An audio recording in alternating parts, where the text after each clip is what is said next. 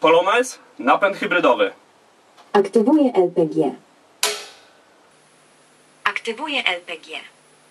Cały zestaw składa się z czterech elementów. Głośnik odbiera sygnał z takiego wzmacniacza dźwięku. Najlepiej użyć profesjonalnego wzmacniacza, ale ja po prostu rozebrałem stare głośniki.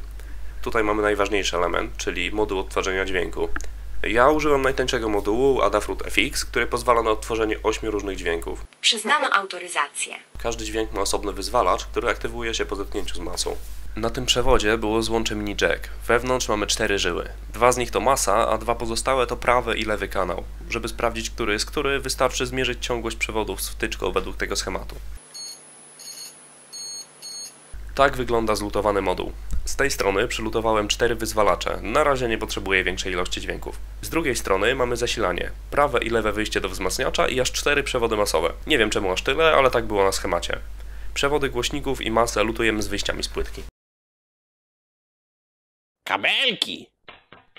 Płytka wytrzymuje maksymalnie 5V, więc żeby akumulator jej nie usmażył, będzie nam potrzebna przetwornica napięcia albo inny zasilacz. Taka przetwornica to koszt około 20 zł. Docelowe napięcie regulujemy śrubą potencjometryczną, aż wyświetlacz pokaże okolice 5V. Zostało już tylko podłączyć zasilanie do wzmacniacza. Na koniec płytkę podłączamy do komputera przez USB i wgrywamy dźwięki w formacie WAV. Do tworzenia plików używam darmowego syntezatora głosu Narakit. Wybieramy głos i wpisujemy interesującą nas frazę. Pliki trzeba odpowiednio nazwać, tak żeby każdy dźwięk był przypisany do jednego triggera, od T01 do T07.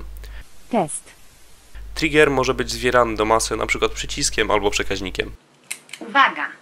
Polonez znowu się zjebał. Jeśli nie masz czasu na lutowanie, mogę zrobić podobny zestaw na zamówienie. Napisz do mnie na Facebooku lub Instagramie.